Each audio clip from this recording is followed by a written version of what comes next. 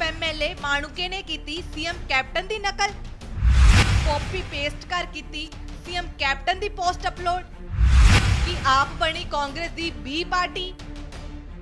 ਕੇਂਦਰੀ ਮੰਤਰੀ ਹਰਸਿਮਰਤ ਬਾਦਲ ਦੇ ਅਸਤੀਫੇ ਨੇ ਪੰਜਾਬ ਦੀ ਸਿਆਸਤ 'ਚ ਭੁਚਾਲ ਲਿਆ ਦਿੱਤਾ ਹੈ।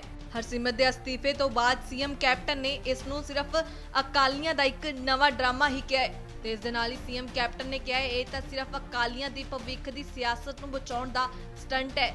ਜਿਸ ਤੋਂ ਬਾਅਦ ਸੀਐਮ ਕੈਪਟਨ ਦੇ ਇਹਨਾਂ ਸ਼ਬਦਾਂ ਨੂੰ ਹੂਬਹੂ ਆਪ ਐਮਐਲਏ ਸਰਵਜੀਤ ਕੌਰ ਮਾਣੂਕੇ ਨੇ ਵੀ ਕਾਪੀ ਪੇਸਟ ਹੀ ਕਰ ਦਿੱਤਾ। ਜੀ ਹਾਂ, ਸੀਐਮ ਕੈਪਟਨ ਦੀ ਪੋਸਟ ਤੋਂ ਬਾਅਦ ਆਪ ਐਮਐਲਏ ਮਾਣੂਕੇ ਨੇ ਵੀ ਇਸ ਪੋਸਟ ਨੂੰ ਕਾਪੀ ਪੇਸਟ ਕਰਕੇ ਹੀ ਆਪਣੀ ਫੇਸਬੁੱਕ ਤੇ ਅਪਲੋਡ ਕਰ ਦਿੱਤਾ। ਤੇ ਜਿਸ ਤੋਂ ਬਾਅਦ ਸ਼੍ਰੋਮਣੀ ਅਕਾਲੀ ਦਲ ਦੇ ਆਈਟੀ ਵਿੰਗ ਦੇ ਪ੍ਰੈਜ਼ੀਡੈਂਟ ਨਛੱਤਰ ਸਿੰਘ ਨੇ ਇਸ ਤੇ ਟਿੱਪਣੀ ਕਰਦੇ ਕਿਹਾ ਕਿ ਆਪ ਨੇ ਸਾਬਿਤ ਕਰ ਦਿੱਤਾ ਹੈ ਕਿ ਉਹ ਕਾਂਗਰਸ ਦੀ ਬੀ ਪਾਰਟੀ ਹੈ। ਜ਼ਿਕਰਯੋਗ ਹੈ ਕਿ ਖੇਤੀ ਆਰਡੀਨੈਂਸ ਨੂੰ ਲੈ ਕੇ ਹਰਸਿਮਰਤ ਬਾਦਲ ਦੇ ਅਸਤੀਫੇ ਦੀ ਲਗਾਤਾਰ ਮੰਗ ਕੀਤੀ ਜਾ ਰਹੀ ਸੀ, ਜਿਸ ਤੋਂ ਬਾਅਦ ਕੱਲ ਹਰਸਿਮਰਤ ਬਾਦਲ ਨੇ ਇਸ ਬਿੱਲ ਦੇ ਵਿਰੋਧ 'ਚ ਯੂਨੀਅਨ ਕੈਬਨਿਟ ਦੇ ਪਦ ਤੋਂ ਅਸਤੀਫਾ ਦੇ ਦਿੱਤਾ ਸੀ।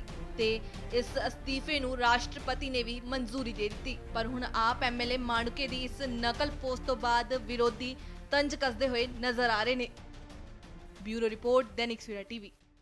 All world open challenge 17 time gold medallist Mian Rafiq Mohammad पंडित मौलवी बेगम तांत्रिक इन चोरा ठगा तो सावधान स्पेशलिस्ट वशीकरण सट्टा नंबर लव मैरिज पति पत्नी च अनबन विदेश च पक्का होना कारोबार दा ना चलना सिर्फ़ 31 घंटिया विच समाधान फ्री फ्री फ्री मियाँ रफीक मोहम्मद मोबाइल 8434 94647 84374 94648 ਦੇਸ਼ ਦੁਨੀਆ ਦੀ ਹਰ ਵੱਡੀ ਖਬਰ ਦੇ ਲਈ ਹੁਣੇ ਡਾਊਨਲੋਡ ਕਰੋ number 1 news app Dainik Savera time